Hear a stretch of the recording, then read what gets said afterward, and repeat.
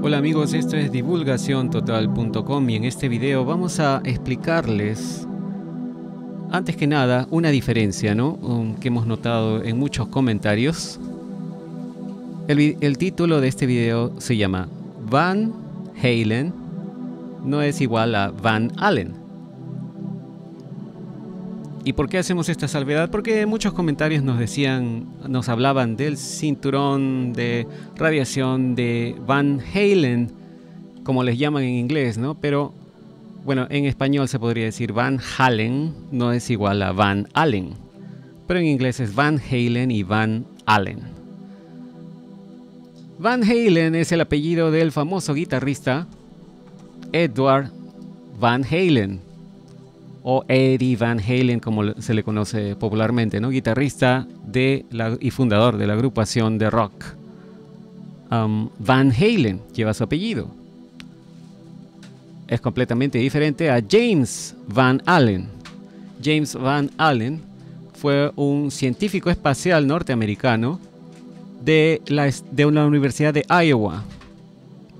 Y él fue una persona principal instrumental al establecer la investigación del campo de la magnetosfera, el campo magnetosférico alrededor de la Tierra en el espacio.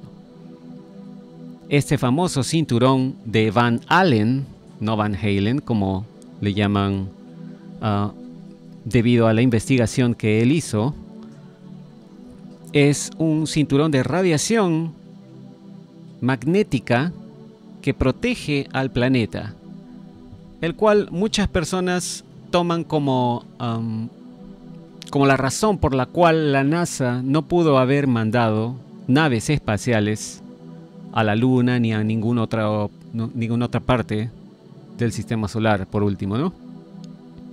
Pero para darles mejores datos con respecto a esta información, vamos a traducirles este video es un video muy interesante y muy didáctico, muy práctico de qué cosa es el cinturón Van Allen, ¿no? El cinturón Van Allen es letal, pero así es como los astronautas volaron a través de ellos.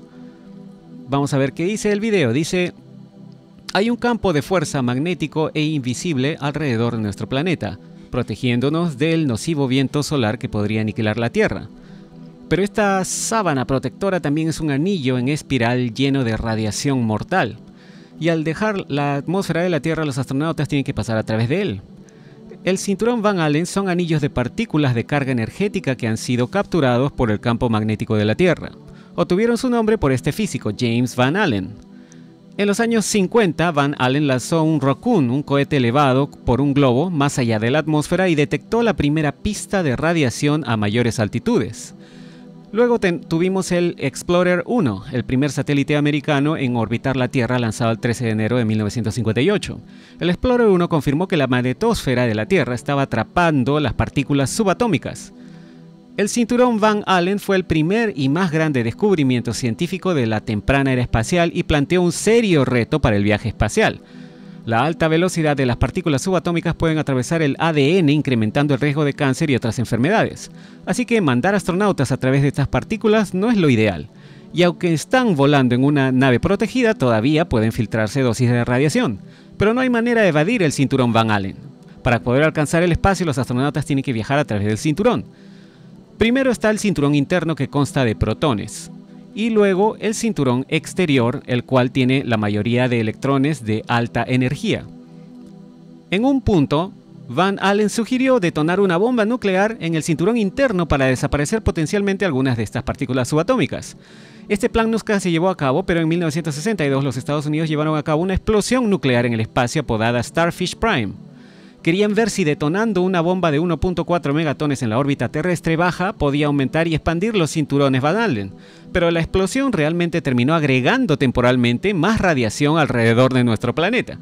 Entonces, con poco éxito en ese frente, dependía ya de la NASA el desarrollar una nave con una fuerte barrera contra la radiación y descubrir una trayectoria que evitara la parte más ancha y radioactiva de los cinturones mientras viajaba tan rápido como fuera posible. Los científicos decidieron que así la velocidad de la nave Apolo era de aproximadamente 25.000 km por hora, le tomaría a una nave cerca de 52.8 minutos el, el pasar a través de los cinturones. Basado en esa información se dieron cuenta que la dosis de radiación recibida durante esa cantidad de tiempo podría ser como máximo 11.4 rats, y eso sin la protección de una nave.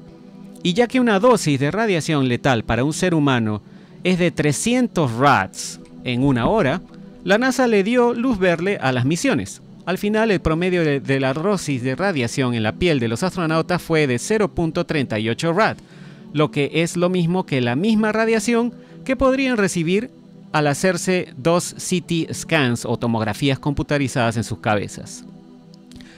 Así que, si bien es cierto que los cinturones Van Allen son letales, realmente solo podría matar a un astronauta si pasara varios días en su cercanía radioactiva. Y a pesar de que los retos que crean los cinturones al dejar la Tierra, en realidad deberíamos estar agradecidos de los cinturones Van Allen por proteger la vida en nuestro planeta de una absoluta aniquilación. Y esta es la explicación más clara que hemos encontrado sobre qué son los cinturones o el cinturón Van Allen, no Van Halen. Em, esta, eh, es una, esta es una de las razones principales por la cual mucha gente piensa que el viaje espacial de la NASA no fue posible, pero en realidad sí lo fue, como estamos viendo, ¿no? Con estos datos Ah, que los científicos han dado y han sabido durante años. ¿no?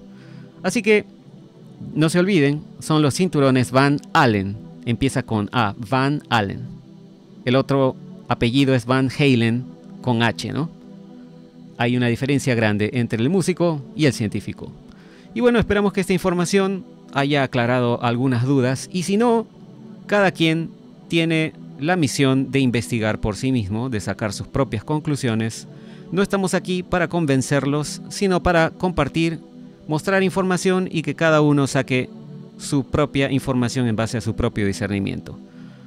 No se olviden, suscríbanse al canal, compartan el video, síganos en Facebook y en Twitter y nos comunicaremos en el próximo video. Como siempre, muchas gracias y hasta entonces.